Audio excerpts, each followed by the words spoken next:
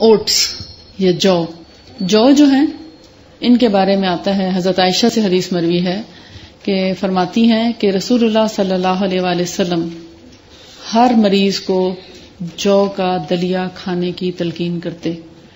यानी आप फरमाती हैं, अगर हमारे घर में कोई मरीज़ होता, कोई बीमार हो जाता तो जब तक वो ठीक ना हो जाता या फौत ना हो जाता। यानी अगर एक शख्स बीमार है तो दो ही सूरतें हैं कि या वो सेहतयाब हो जाए, या अल्लाह को प्यारा हो जाए। ऐसे ही होता है ना? इससे मुराद ये है कि चाहे बीमारी इतनी शदीद किस्म की है कि उसकी मौत नज़र आ रही हो, या हल्की फुल्की है, दोनों सूरतों में आप सल्लल्लाहु अलैहि वसल्लम जौ का दलिया खाने का हुक्म फरमाते और हमारे घर में हर रोज जौ की हांडी चढ़ती, कि जब तक कि दोनों सूरतों में से एक सूरत सामने ना आ जाती, या मौत या सेहत। तो इससे यह असूल अखज करना चाहिए कि बीमारी चाहे कोई भी हो, सर दर्द से लेके कैंसर तक, कोई भी तकलीफ़ है, उसमें सुबह नाश्ते में आप जौ का दलिया ज़रूर इस्तेमाल करें।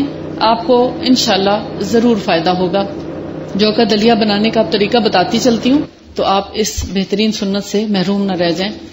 जौ बनाने के लिए अगर एक प्याली जौ है, प्याली चाय की बता रही हूँ आपको, तकरीबन उसमें सौ ग्राम जौ आ जाएँगे एक प्याली में।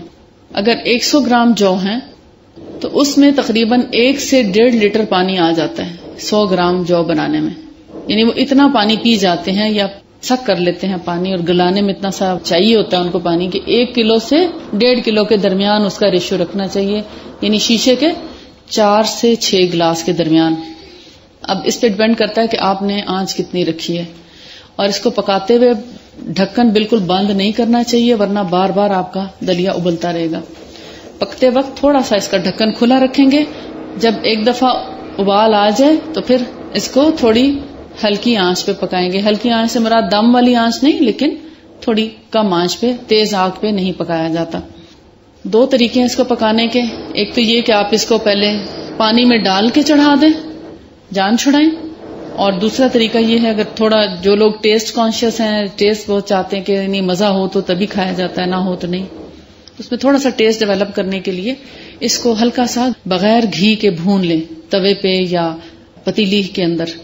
कुछ डाले बगैर इसको जस्ट रोस्ट कर लें ड्राई हल्की आँच पे इसको आप हल्का सा, जैसे कहते हैं ना, इतना सा भूने कि उसमें से खुशबू आने लगे, रंग ना बदले। रंग नहीं बदलना चाहिए। अगर रंग बदल गया या दाने जल गए तो जो मज़ा है वो बिल्कुल ही बदमजा हो जाएगा। तो इसलिए जैसे सूजी भूनते हैं हलवे के लिए तो बहुत केयरफुल होते हैं ना कॉन्शियस होते हैं कि दाना जलना नहीं चाहिए। तो इसी तरह इसका भी कोई दाना जलना नहीं चाहिए, हल्की आँच पे इसको भून के।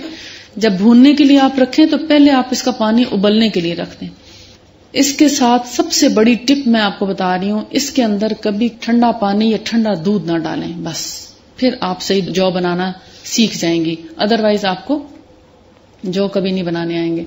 कभी ठंडा पानी इसमें ऐड ना करें।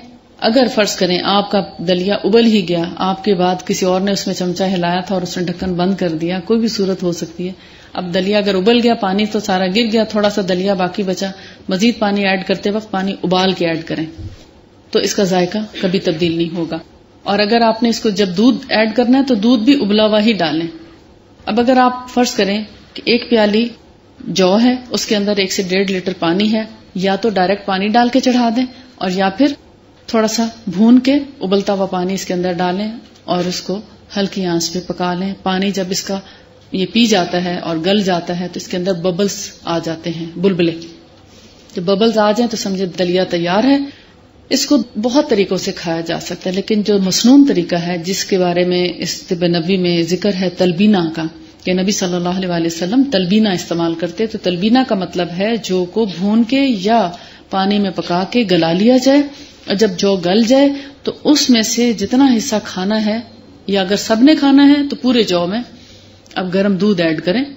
अगर गरम गरम दलिया है तो गरम दूध ऐड करेंगे। मजीद फिर दूध डाल के उसको कुछ देर के लिए पकाया जाता है। दूध अपनी मर्ज़ी के मुताबिक आप डाल सकते हैं, अपने टेस्ट के मुताबिक। अमूमन, जैसे एक डोई। डोई, आप समझते हैं, लकड़ी की डोई जो हमारे यहाँ खाना पकाने के लिए इस्तेमाल की जाती है, या स्टील के डोई उसके बराबर अगर है तो एक डोई अमूमन एक शख्स के लिए काफ़ी होता है, लेकिन अगर एक से तसल्ली नहीं है, डेढ़ डोई है तो एक कप दूध डाल लें। अगर एक डोई है तो आधे से पौना कप दूध डाल के उसको पाँच सात मिनट के लिए पकाया जाता है और फिर उसमें दोबारा से बबल आ जाते हैं तो अब वो खाने के लिए तैयार है। उस दूध में पके हुए दलिए को प्याले में एज इट इज़ डाल दें बगैर चीनी या कोई चीज़ मिक्स किए। अब देखते इसमें कुछ भी मिक्स नहीं किया, ना नमक। अगर बहुत ही ज़्यादा आप समझे आप जल्दी है बहुत तो एक चुटकी नमक डाल दें, थोड़ा सा जल्दी गल जाएगा। तो फिर एक लीटर पानी भी काफ़ी है। और अगर एज इट इज़ ही खाना चाहें ब्लड प्रेशर के मरीज़ हैं तो उनके लिए नमक ठीक नहीं है, वो बगैर नमक के बनाएँ। और फिर जब दूध के साथ ये पक जाए तो इसको प्याले में डालें। प्याले में डालकर इसके अंदर एक चाय की चम्मच शहद मिलाकर खाया जाए। एक चाय की चम्मच से एक टेबल स्पून तक का टेस्ट होना चाहिए, इससे ज़्यादा का नहीं होना चाहिए, फिर बहुत मीठा नहीं करना चाहिए। शहद मिलाकर दूध का दलिया जो आप खाएँगे, उसको तलबीना कहते हैं।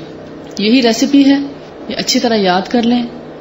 आज जाके अगर इसको प्रैक्टिस कर लें तो बहुत अच्छा है। बेशक रात को उबाल के रखते हैं अगर सुबह में जल्दी है, बना के रखें और सुबह इसको दूध के साथ बना के खाएँ। रात को उबाल दें और सुबह दूध डाल के इसको उबाल लें। अगर रात को फ़र्ज़ करें आपने जौ बना के रख लिया है और सुबह आप इसमें दूध डाल के खाना चाहते हैं तो फिर सुबह ठंडा दूध ऐड कर सकते हैं, क्योंकि जौ खुद ठंडे हैं। लेकिन अगर जौ गर्म है और उसमें ठंडा या गर्म दूध या पानी डाल दिया तो जौ अकड़ जाते हैं, फिर वो गलते नहीं। जैसे कहते हैं ना, हलीम खराब हो जाता है, इसी तरह जौ खराब हो जाते हैं। क्लियर हो?